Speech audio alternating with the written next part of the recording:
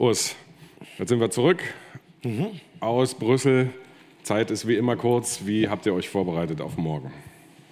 Ja, in erster Linie äh, stand Regeneration äh, auf dem Programm. Äh, natürlich für die äh, Jungs, äh, die nicht äh, so gespielt haben oder zu Hause geblieben sind. mit denen haben wir gestern und heute trainiert. Ja, wie gesagt, es ging vor allem darum, gut äh, zu regenerieren und dann äh, gab es schon noch auch mal äh, eine Analyse äh, des Spiels äh, von Donnerstag. Dann äh, beginnen wir mit den Fragen. Matthias Koch beginnt, bitteschön. Ähm, Fischer, wie sieht es denn personell aus? Ähm, vor allem auch Kevin Behrens, steht der wieder zur Verfügung oder gibt es noch irgendwelche Nachwehen vom Spiel? Äh, nein, das sieht eigentlich äh, gut aus, wenn es um die Nachwehen äh, geht. Äh, Kevin äh, konnte gestern leicht trainieren, heute wieder äh, mit der Mannschaft. Also von daher sieht das gut aus. Auch die Jungs, die ein bisschen angeschlagen waren aus dem Spiel, auch da sollte alles okay sein. verletzt nach wie vor Schäfer und krank Trimmel.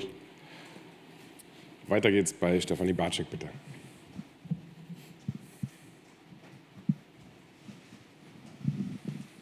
Ja, hallo Christian, hallo Herr Fischer. Hallo. Ähm, Herr Fischer, Sie hatten nach dem Spiel jetzt unter der Woche gesagt, ähm, dass es auch noch mal darum geht, um die Analyse mh, hm, der Fehler, die passiert sind. Das war ja nicht das allererste Mal. Sie hatten sich äh, das eine oder andere Mal da, darum geäußert und haben aber auch in dem Zusammenhang gesagt, es ist ja nicht viel Zeit, man hat so viele Spiele. Ähm, wie haben Sie genau an der Thematik gearbeitet oder wie werden Sie es vielleicht jetzt noch machen vor dem Frankfurt-Spiel und wie viel kann man da tatsächlich machen? Ja, vielleicht sollte man auch nicht zu viel äh, machen. Ich glaube, wir haben es äh, zur äh, Genüge äh, angesprochen. Äh, trotzdem, äh, am Donnerstag hatten wir wieder zwei, drei Aktionen, wo wir einen Ball zu einfach verlieren wo wir eine Entscheidung treffen, äh, einen Ball, äh, anstatt einen Ball äh, wegzuschlagen, noch eine, eine spielerische Lösung zu finden.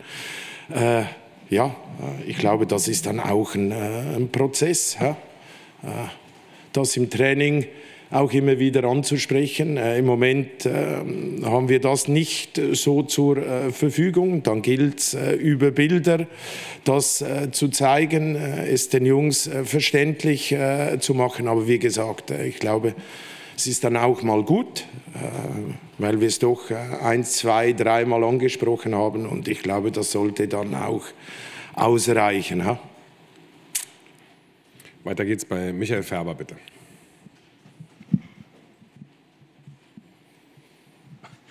Ja, hallo in die Runde. Ähm, Herr Fischer, hallo. Sie sagten am äh, Donnerstag, um das Spiel abzuhaken, äh, braucht es äh, den Moment, dass man es schnell sozusagen, ähm, ja, aus den, alt, anders formuliert, sorry.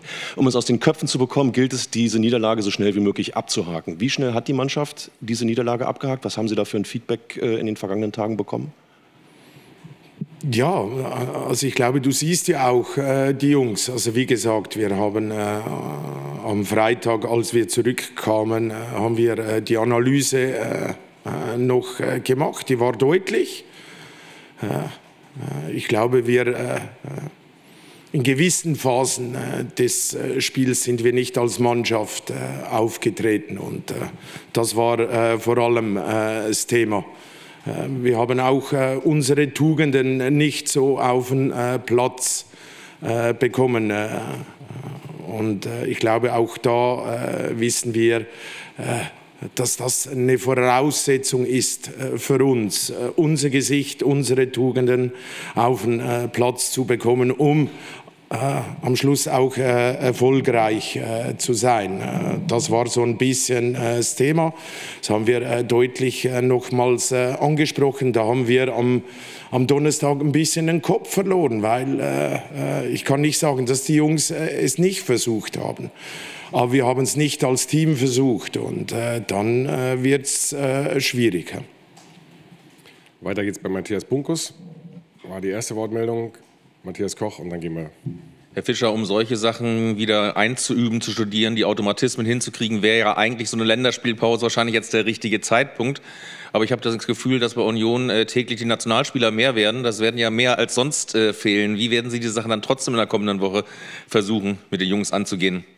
Ja, indem wir es angehen mit denen, die da sind. Ja, also äh, wir werden äh, das Training natürlich entsprechend ein bisschen anpassen müssen, weil doch äh, neun Nationalspieler äh, nicht da sind.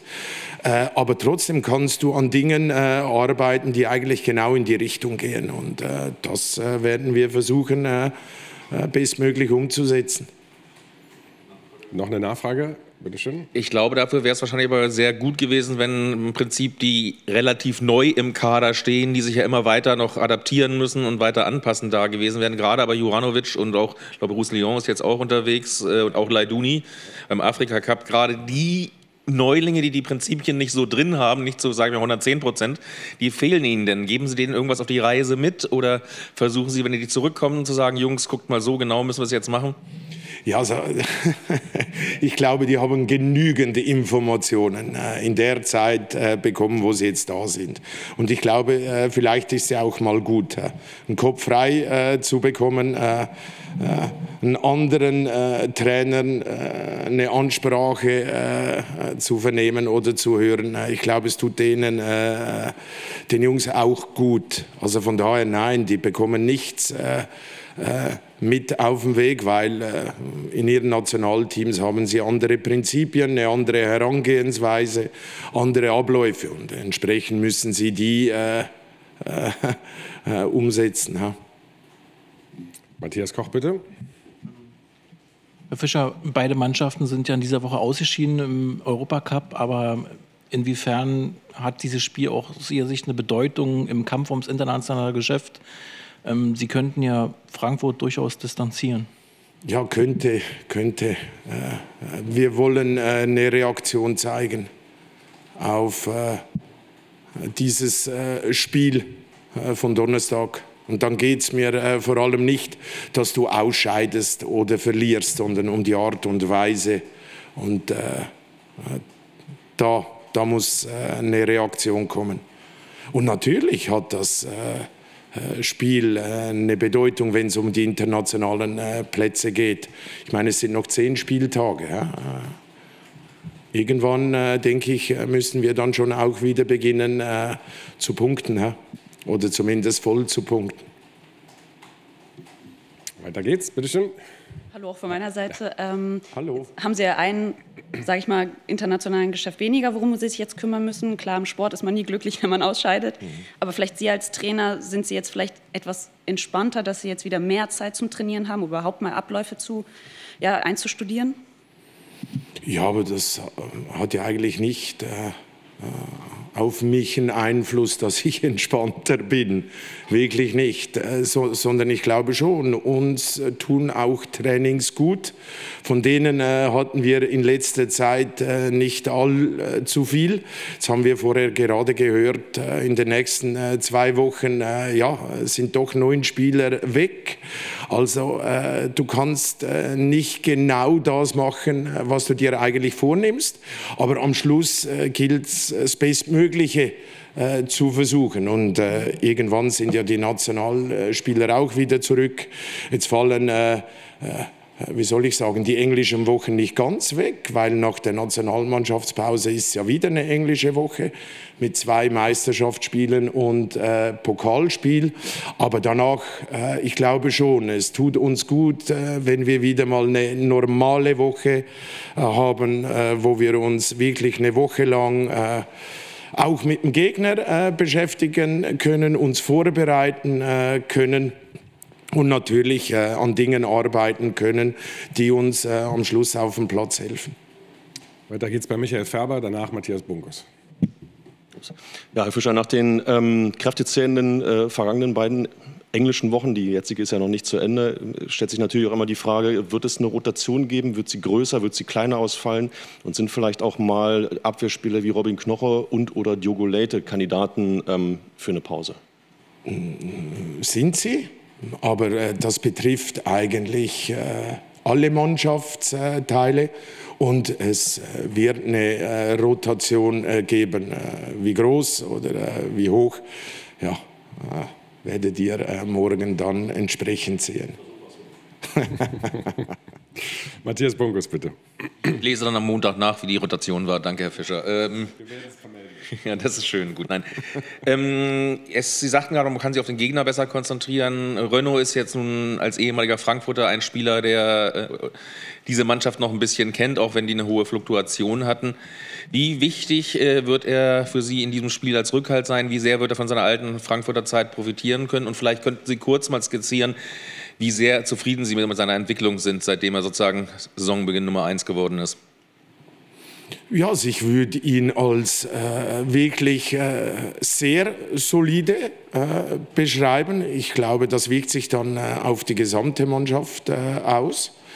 Äh, das gibt ihr dann den entsprechenden Rückhalt. Ich muss auch sagen, er hatte Spiele mit dabei, wo er uns Punkte gerettet hat.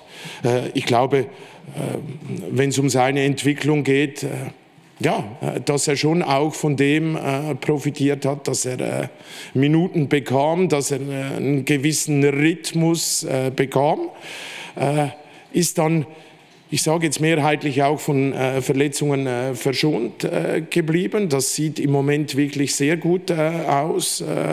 in den Jahren zuvor hat es ihn doch auch immer wieder zurück äh, geworfen. Nein, er strahlt äh, eine Ruhe aus, das überträgt sich dann auf äh, die gesamte Mannschaft.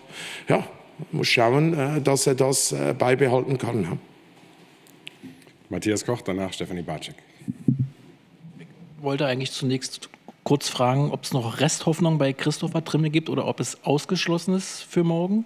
Ja, also es sieht nicht gut aus, weil er doch einige Symptome hat. Dem geht es wirklich nicht gut. Also, ja. Und, äh, die eigentliche Frage auch im Anschluss äh, zu der Bonki-Frage nach Frederik Rönno. Am Donnerstag ist er doch mal aus der Ruhe ein Vulkan geworden, als er kurz den Jamie Leveling mal angegangen ist. Ähm, ist es ein Zeichen dafür, dass er die Nase voll hatte oder, oder ist auch mal ganz gut, dass er auch mal explodiert? Ja, also ich glaube, solche äh, äh Reaktionen, äh, glaube ich, gehören auch dazu. Nur äh, ich würde es mir wünschen, äh, dass sie vielleicht ein bisschen früher äh, gekommen wäre, äh, nicht nach dem 3 zu 0 und kurz vor Ende. Nein, die haben das geklärt. Emotionen gehören dazu. Ich glaube, die Enttäuschung war dann auch wirklich groß bei allen. Und dann gibt es auch mal solche Situationen. Oliver Glasner hatte in der Pressekonferenz jetzt vor dem Spiel ähm, sich auch nochmal erinnert an das Hinspiel, gesagt, wir haben äh, gewonnen, hatten weniger Ballbesitz als der hm. erste FC Union und das war erfolgreich. Auf was stellen Sie sich denn jetzt ein? Auf, auf was für ein Frankfurter Team, das hierher kommt? Ja, also, äh, es gilt sich eigentlich natürlich auf den Gegner vorzubereiten, aber äh, nicht darauf einzustellen, wie viel äh, Ballbesitz wir jetzt haben, sondern äh, dass wir unsere Tugenden unser Gesicht auf den Platz äh, bekommen. Und da ist in erster Linie nicht der Ballbesitz äh, entscheidend. Matthias Bunkus nochmal und danach Matthias Koch. Wir hatten ja diese Woche äh, aus Rom, sage ich schon, aus Neapel ein paar unschöne Bilder gesehen. Äh, hat die DFL im Nachgang irgendwie dieses Spiel noch in eine höhere Sicherheitsstufe eingeordnet? Ist eine relativ große Präsenz da. Ich weiß, dass Frankfurt und Union im Laufe der 20 Jahre eigentlich mehr normale Begegnungen hatten als äh, außergewöhnliche. Aber ist da trotzdem jetzt irgendwas jetzt noch gekommen in der Richtung? Nein, nicht, nicht äh, aus der, als Folge dieses Neapel-Spiels. Also es gibt keine erhöhte Risikobewertung aufgrund von Fanverhalten, sondern aufgrund der infrastrukturellen Gegebenheiten rund um das Stadion. Kommen wir wahrscheinlich gleich noch zu, zu einer neuen Folge. Wie komme ich zum Stadion einer alten Försterei? Äh, machen wir gleich. Ähm, also nein, daraus hat sich jetzt äh, nichts anderes ergeben. Noch eine Nachfrage dazu? Ja. Wir können doch gleich zu der Folge kommen. Das wäre meine nächste Frage gewesen. Äh, seit gestern habe ich gehört, ist die Hämmerlingstraßenbrücke äh, für den Verkehr wieder freigegeben. Nein, nicht, das ist nicht der Fall. Nicht äh, äh zum Spieltag bleibt sie weiterhin gesperrt. Ähm, Zusätzlich wird der S-Bahnhof Köpenick am Sonntag nicht angefahren werden, sprich es gibt einen Schienenersatzverkehr zwischen Karlshorst und Friedrichshagen. Deshalb haben wir selber einen direkten Bus-Shuttle eingerichtet zwischen S-Bahnhof Karlshorst und Wuhlheide. Sprich, da fahren zehn von uns gescharterte Busse ab 12.30 Uhr, also eine Stunde vor Stadionöffnung, äh, fahren im Sechs-Minuten-Takt. Äh, und wir hoffen, dass wir damit einen Teil dazu beitragen können, dass alle Menschen irgendwie pünktlich zum Stadion kommen. Ähm, nach dem Spiel fährt dieser Bus-Shuttle auch zwischen 17 und 19 Uhr. Das bedeutet nur für alle, die den nutzen, am S-Bahnhof Karlshorst gut aufpassen, in welchen Bus man einsteigt, denn am S-Bahnhof Karlshorst fährt der normale Schienenersatzverkehr Richtung Friedrichshagen ab. Es fährt unser Bus-Shuttle ab und außerdem hat auch die Straßenbahnlinie M17 nach Schöneweide Schienenersatzverkehr. Äh, unsere Shuttlebusse sind mit äh, dem Hinweis äh, Union Shuttle gekennzeichnet und wir hoffen, äh, äh, dass das also gut funktioniert. Ansonsten äh, empfehlen wir natürlich auch noch die anderen Möglichkeiten, also mit der U5 bis Elsterwerder Platz oder mit der S-Bahn bis Mahlsdorf und von dort aus mit Bus oder Straßenbahn Richtung Köpenick. Und natürlich, ein bisschen wärmer ist ja jetzt geworden, mit dem Fahrrad oder zu Fuß oder aber mit dem Schiff. Auch die Victoria fährt das äh, Spiel morgen an. 11.30 Uhr, glaube ich, äh, startet das Schiff an der Fennbrücke. Ähm, insofern äh, gibt es verschiedenste Möglichkeiten. Ganz wichtig, auf jeden Fall rechtzeitig auf den Weg machen, denn 15.30 Uhr ist auf jeden Fall Anstoß. Huh. Top. Oder? Ja. Ohne, ohne Zettel. Ohne, ohne Zettel. Hey. Spielen wir jetzt schneller, weil die Busse schon ab 17 Uhr äh, fahren? Weil da ist nach meinem Dafürhalten die Partie noch nicht ganz äh, entschieden. Obwohl vielleicht, vielleicht ja doch schon. Für die Frankfurter.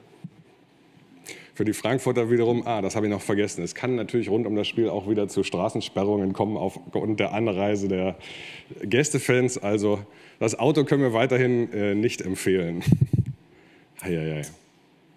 So, alle Fragen beseitigt? Nein, noch nicht. Eine Nachfrage. Ähm, ich bin durch Zufall da vorbeigekommen beim Heimspiel gegen San Geloas. Da war zumindest der Fußgängerweg offen, obwohl er eigentlich als geschlossen äh, gekennzeichnet worden war durch die Hemmerling-Brücke. äh Sagen wir so, wir bekommen die Informationen von Seiten derjenigen, die für äh, Verkehrssicherung äh, zuständig sind. Wir haben den Hinweis bekommen, wir sollen da bitte auch weiterhin vermelden, dass diese, diese Unterführung gesperrt ist.